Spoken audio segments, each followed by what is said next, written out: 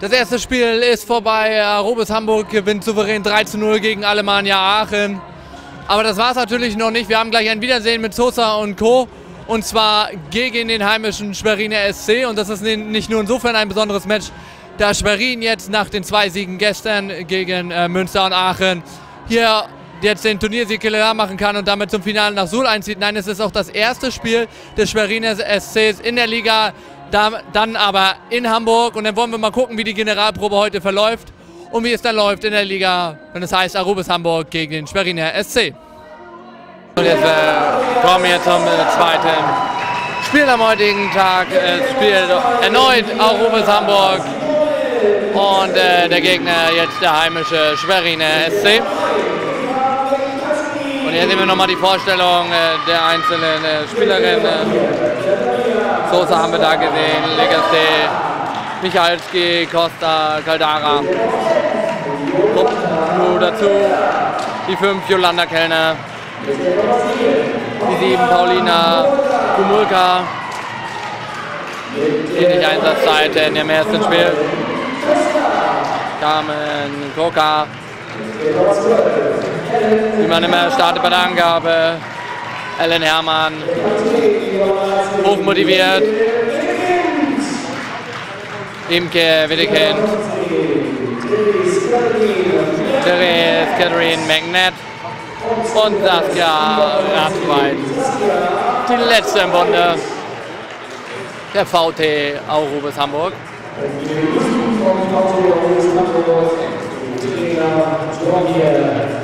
Hamburg.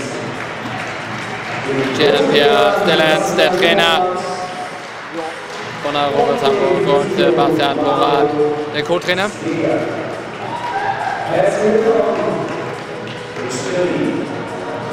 Und jetzt äh, verdunkelt sich die Halle. Der heimische Schweriner SC kommt.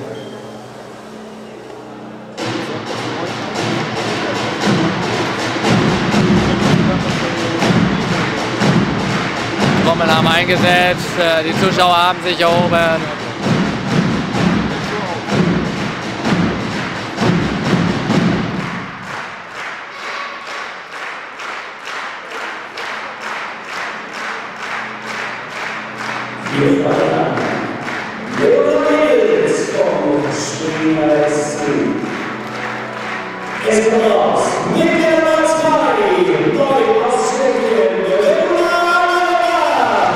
Vendera, Adlanova,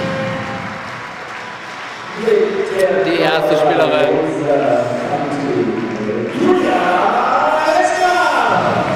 Dann die Nummer 6, Julia Retzlaff von der Partie. Die 4, Mira Topic. Mit der Nummer 7. Patricia Thormann. Mit der 7.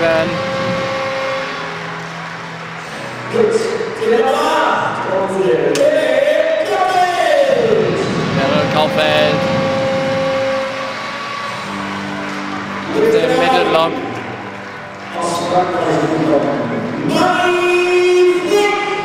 Dann äh, für das Zuspiel zuständig Marie Frick mit der Nummer 9.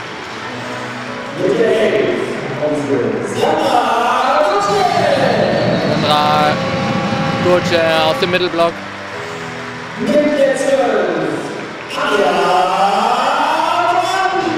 Ebenfalls Mittelblock, die Nummer 12 Anja Brandt.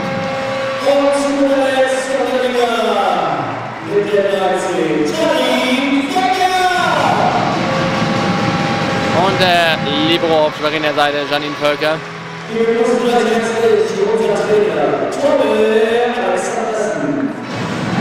Und der Trainer Dora Alexanderson. Andreas äh, Reneberg.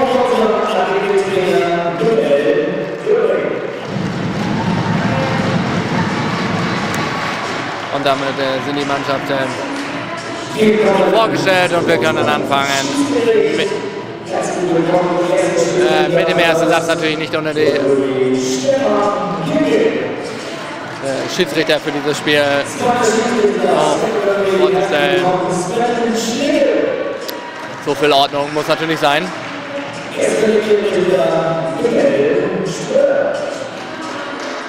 So, jetzt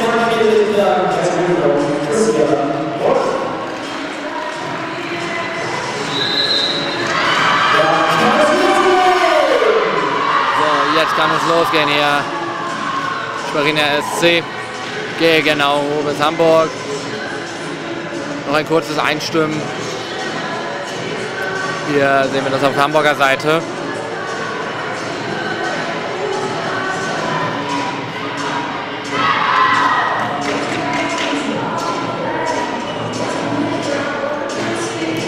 Die Hamburger schon fertig sind. Tore Alexanderson noch klare Anweisungen zu geben. Die Hamburger berufen sich da sicher aufs erste Spiel gegen Alemannia Aachen, was ja souverän mit 3 zu 0 gewonnen wurde.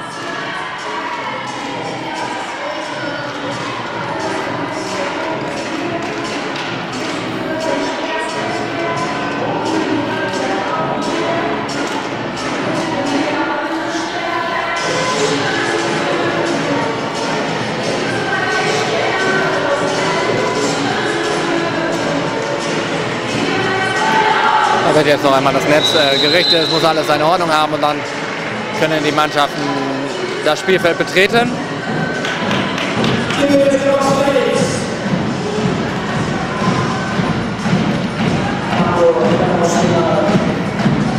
Alles ist eingerichtet. Die Stimmung hat auch schon ausgehalten hier. Die Halle steht und klatscht. Und eine Angabe für Aurobis Hamburg.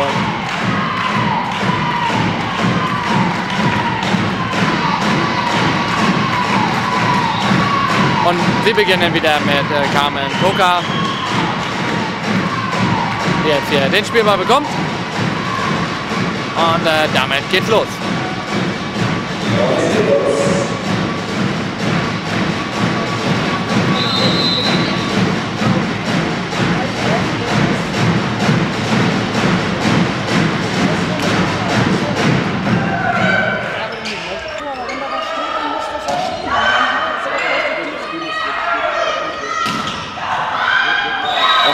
Erste Punkt für den Schweriner SC. Durch Vendula Alanova.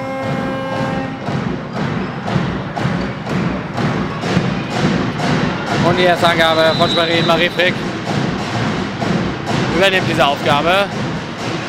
Oh, Sosa damit Problemen. Hermann kann den Ball nur noch rüberbringen. Und Alanova in den Block. Und von da ist es aus 2 zu 0 für den Schwerin SC.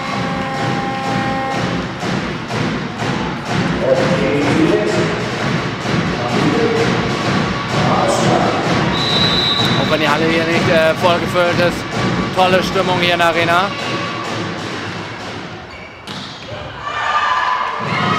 Und der cross geschlagene Ball durch den Block von Hermann zum 2 zu 1.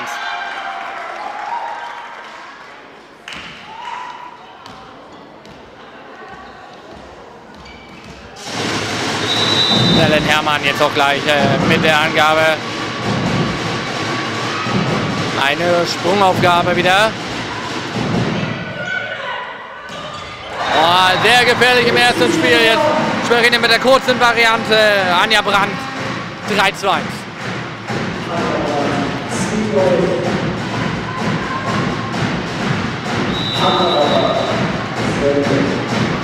Wendela Adlanova jetzt mit der Angabe.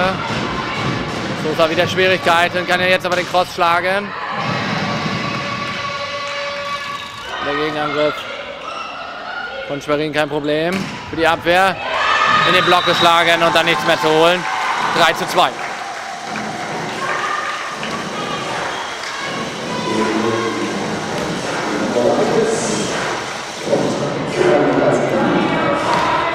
Michalski bei der Angabe jetzt.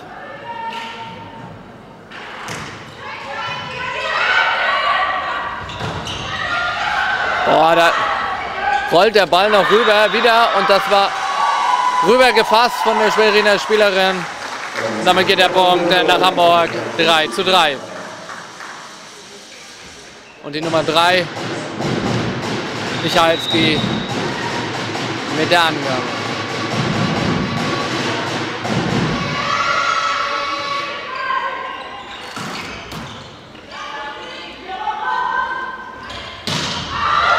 Der Schweriner Block kriegt den Ball nur über die Fingerkuppeln. Und damit erneut der Punkt für Hamburg 4 äh, zu 3.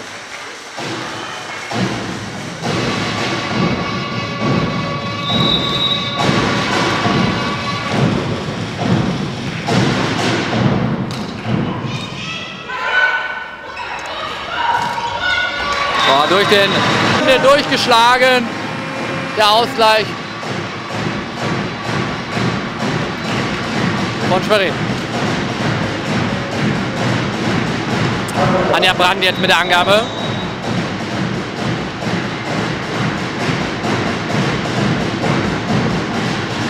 Mittig geschlagen, da sind sich die Hamburgerinnen nicht einig und Schwerin hat die Möglichkeit hier nochmal zu punkten. Das gelingt. Patricia Thormann. 5 zu 4 für Schwerin, Anja Brandt erneut bei der Angabe.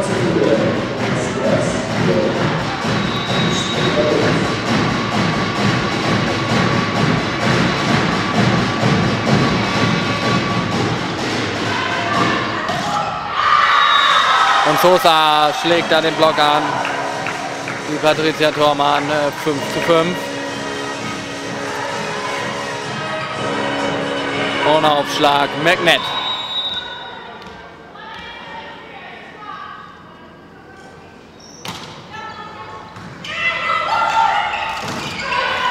Ah, dann bleiben sie im Block hängen.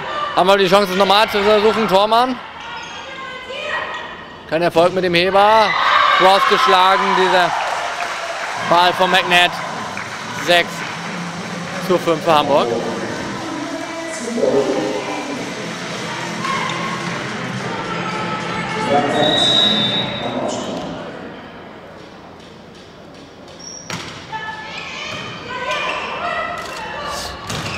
Ah, das war schön gespielt und Tormann mit dem Crossschlag zum 6 zu 6.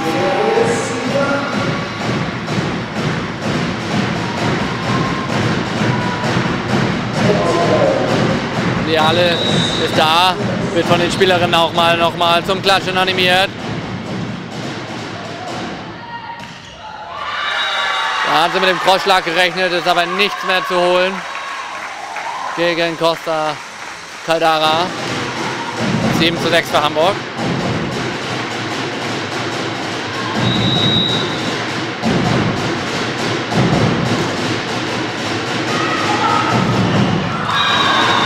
Und der Block von Hamburg steht, aber den hat sie schön rübergedrückt, die Marie Frick, zum 7 zu 7. Sandra Gutsche mit der Angabe.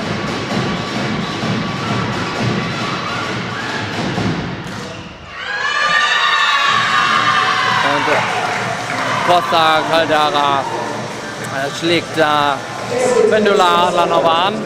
Und es gibt die erste technische Arbeit in diesem Spiel beim Stand von 8 zu 7 für Eurobis Hamburg.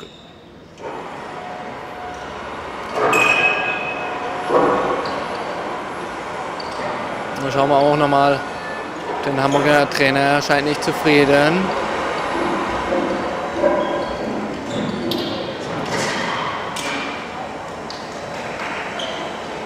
Scheint zu sagen, das muss doch klar sein, Mädchen. Da müsst ihr anders stehen.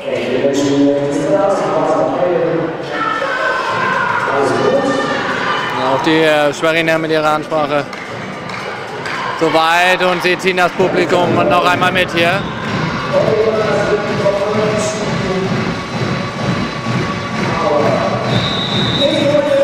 Die Halle klatscht mit. Und damit gehen wir in den zweiten Teil des ersten Satzes.